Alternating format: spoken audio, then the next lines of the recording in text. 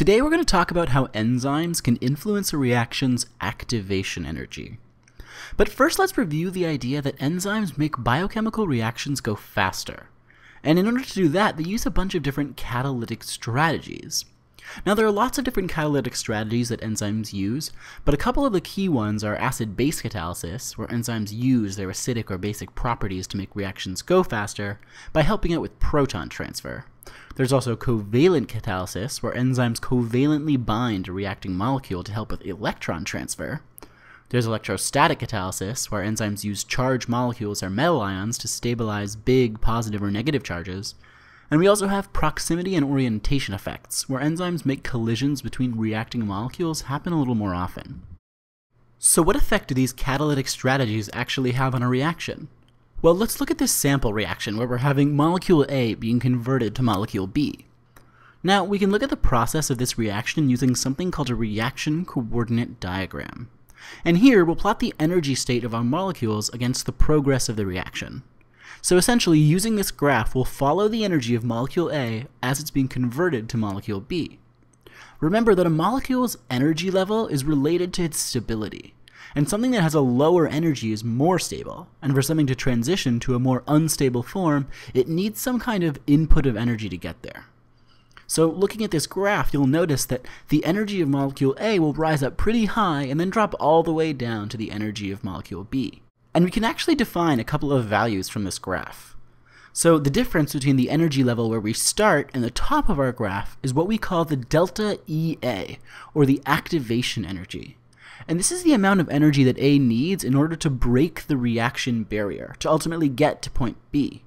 And you'll also notice that there is a difference of energy between point A and point B, and we call this the reaction energy, or delta E reaction and it represents the net change in energy level between our reactant and our product, and it also represents the energy that's released into the environment once the reaction is over. Now, reactions you typically look at will have their products at a lower energy than their reactants, since that makes the reaction spontaneous. Now, the final term we want to look at is at the very top of the peak, which is where we find something called the transition state energy.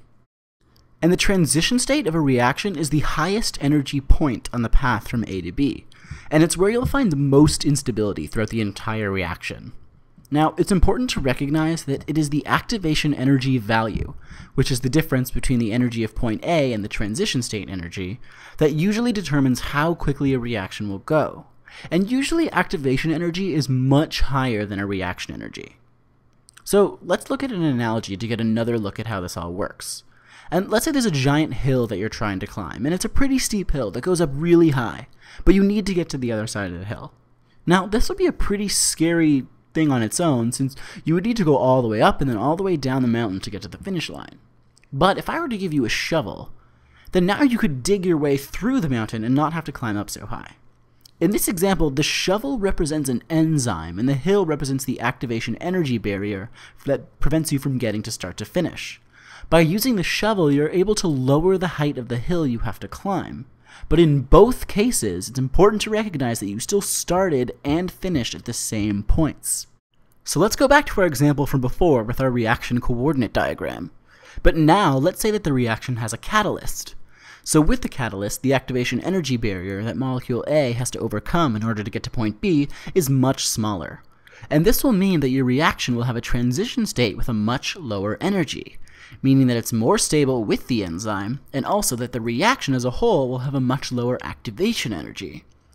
Now, it's really important to recognize that, like our example where you're trying to climb the hill, the enzyme will not be changing the starting and ending points of the reaction.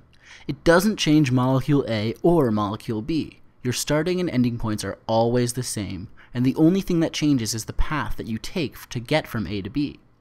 Now, since our starting and ending points aren't changing, it follows that the enzymes are not used up when they catalyze a reaction, and there is no permanent change to the enzyme following a reaction.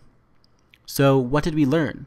Well, first we learned that enzymes work by lowering the activation energy of a reaction, making it much easier for reactants to react and form products more quickly. Second, we learned that despite the change in pathway to get from A to B, the reactants and products do not change when using an enzyme versus when not using an enzyme.